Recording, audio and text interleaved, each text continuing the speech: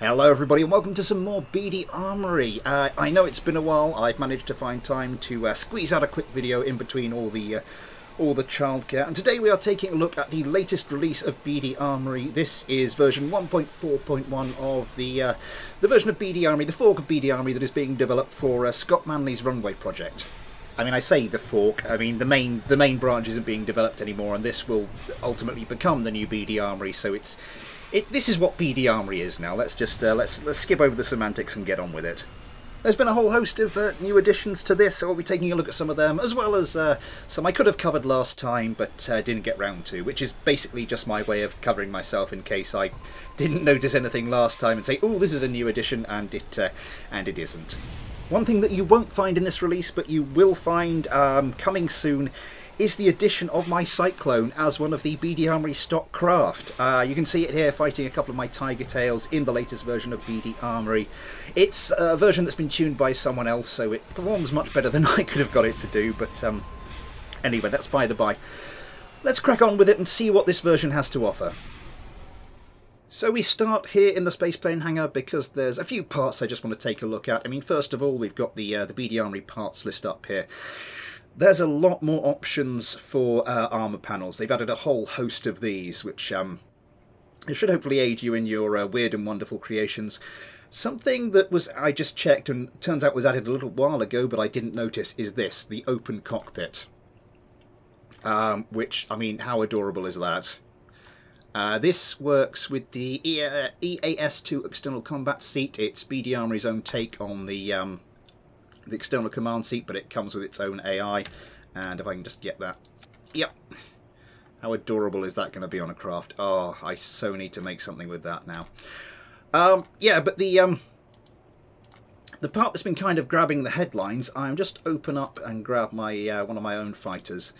The part that's been uh, grabbing the headlines is one of the new engines. Let me just load my little Wasp fighter up here, my ultra small fighter.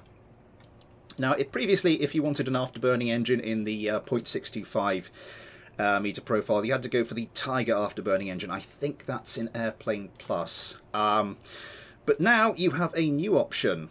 Let me just bring up the uh, engines. I think it'll be easy to find that way. Now you have the Typhoon afterburning jet engine. Yeah. and most like most of the uh, the BD Armory engines, this this is ridiculously overpowered compared to its compared to its alternatives. Uh, let's uh, let's get it on the runway and uh, see what it can do. Here we are then on the runway. Valentina Kerman has very, very bravely volunteered to be our test pilot for this one. Uh, so let's get going. We're going to start the engine, kick in with the afterburners. I've done a couple of test runs of this. You cannot, you cannot take off with this thing with the engines up all the way. In fact, the only way I found to be able to do this is to just very, very gently do it about a third throttle and then when you're going fast enough, just see if you can actually take off. Oh, this isn't looking good. Come on. There we go. And now let's kick in. Let's raise the landing gear. And let's kick in with full throttle. And yep, this thing is ridiculous. The whole point of it, uh, at least the thing people are excited about, is that it means you don't have to just spam a load of Tiger engines, but it is, it is just absurd. Um, but we won't hold that against it. I mean, I might when I'm having to drop the rules for the next season of Fighter Subscriber, but um, you know that's by the by. Anyway, that's um, that's a few of the uh, the few of the well, a few of the new parts and a couple of the old ones. Uh, but uh, let's uh, let's take a look at some of the other newer features that have uh, been implemented since the last time we uh, we covered this. Just a quick aside before we return to the spaceplane hangar, uh, something I discussed in the last video I did on this um, for version 1.4.0.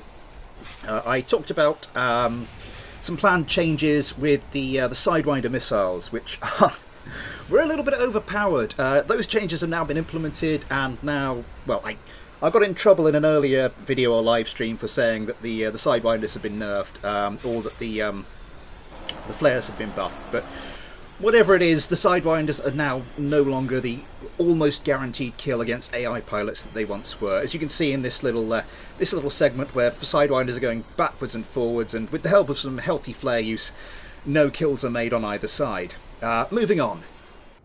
So before we get to the uh, the fight which we were inevitably going to end today's uh, video with, I just want to take a look at some of the AI settings that have been added because uh, since that last video I mentioned, yeah, they've uh, they've been ramming even more stuff into this. If we look at the uh, the AI settings, you can see there's just there's just so much now that they're all separated into these little categories. We've got the um, the PID controller which we did look at last time, and you can just extend more and more options there. Um, uh, let's get rid of those. Yeah. Uh, yeah, but there's plenty more options here for you to uh, to really, really fine tune your um, fine tune your strategies with your craft. And uh, speaking of that, let's move on to the weapon manager because there's lots more stuff here as well. If we take a look at this target priority settings, this this is going to be interesting to uh, to play around with. It just basically uh, allows you to kind of control how your aircraft uh, picks its target. Lots of different weights here you can add, some countermeasure settings, that's, uh, that's another addition. Again, just so you can really, really fine-tune your craft. Um, but that's enough of just speaking about all this stuff. I think it's time that we uh, we go and see it in action and also take one final look at some of the other options that um, have been introduced to BD Armory recently.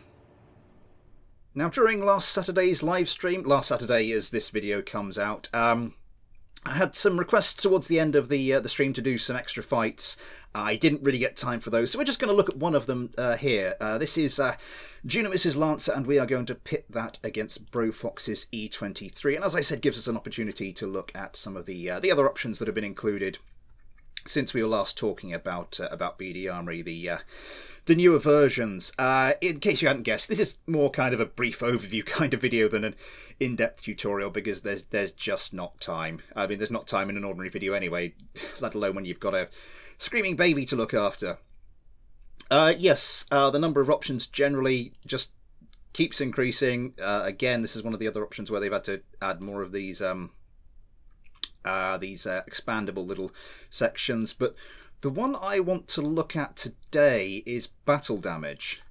Now, I haven't actually used this. I haven't actually um, had a chance to actually go ahead and test this, but yeah, it means that if any of your parts get hit, uh, there's a chance they could fail in some way or another. This is currently set to 10%. I'm going to up that a little bit. Uh, 20, 25? 25 sounds good.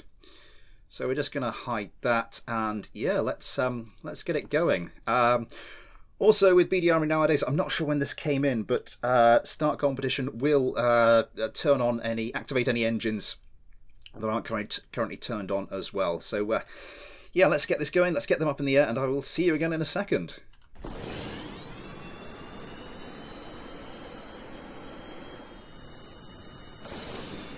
Here we go then. Both craft very, very manoeuvrable. I think both are also packing... Um, what's coming in there? Those are AIM 120s. Yes, the uh, the Lancer only has the uh, only has uh, four sidewinders on it. Going for a light armament means it doesn't need a radar as well.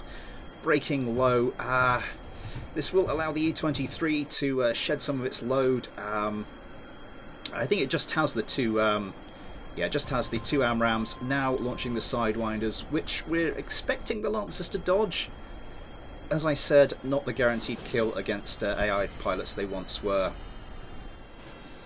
Another jazz going on here, again comes to nothing. Valentina Kerman. Something happened there. That looked like somebody was hit. Doesn't look like it was uh, too um, too fatal though. Ghosty Kerman trying to pull around, trying to uh, engage that E23, but just a little couldn't quite turn around. Gunfire coming in there. One of the Lancers looks to be in a little bit of trouble. Oh, one of the Lancers is in a little bit of trouble. Something's on fire. One of the uh, one of the new effects of the battle damage mod. It doesn't seem to be able to control the craft. The Lancers goes straight into the ocean. I can only presume that was part of the uh, part of the battle damage thing. Lost control of the craft. Does add an extra little frisson of danger to the to the whole thing. It means that uh, just these glancing hits aren't as um, aren't as inconse in inconsequential, if I can talk, as once they were.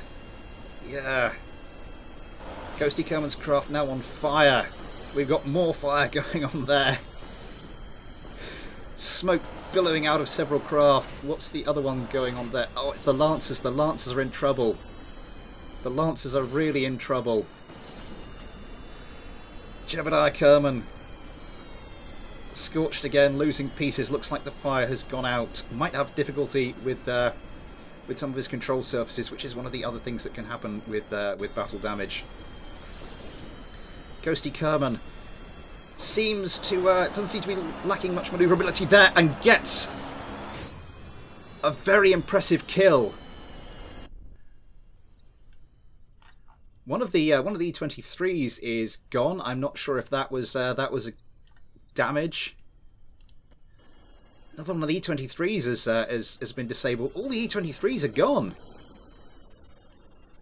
Daphne Kerman still in control of uh, her craft, but it's not looking too good. I thought the Lancers were out of here.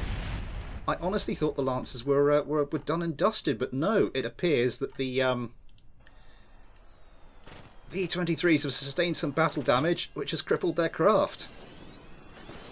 I'm just trying to work out how I'd, how I'd integrate this into Fighter Subscriber without, without the craft designers complaining bitterly. Yeah. So the Lancers... Oh, Valentina trying to get a quick revenge kill there. Does manage to uh, get a bit of a hit.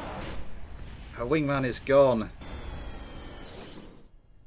Jebediah Kerman's craft has been disabled. I'm not sure if that uh, is the intake being taken out or fuel loss. Yeah, fuel loss. Are we just running, running out of fuel now? I think we're just running out of fuel now. As Ghosty Kerman comes in with uh, more damage onto this E23. That's the other thing that can happen with battle damage. It can strike your fuel tank and cause them to drain prematurely. Um, I think you have lost a fuel tank, actually. I think everybody is now out of fuel. That seems like a good time to end it. Um, I hope you've enjoyed today's video. Uh, I'm going to actually try and take control of this. See if we can uh, see if we can land Ghosty Kerman uh, safely. Yeah, I hope you have enjoyed today's video. If you have, uh, and you haven't already, please uh, feel free to like, subscribe. Uh, if you feel like it maybe help to support the channel, we have uh, PayPal, there's the Patreon. You can um, you can just uh, follow me on Twitter or get involved with the uh, get involved with the channel Discord. All the links are in the description below, as will be the the links to download this version of BD Armory and some another um, another useful link as well for anybody who wants to use it without feeling too overwhelmed with all the new features. Uh, but yeah, that will be all for today. I'm hoping to bring you some more uh, more KSP videos in the near future. You know, make it slightly more regularly, although that won't be much of a challenge. But um, come on, see if we can get this down. Oh, buttery smooth. Yeah. Anyway, for now, thanks for watching. Take care, and I'll see you next time.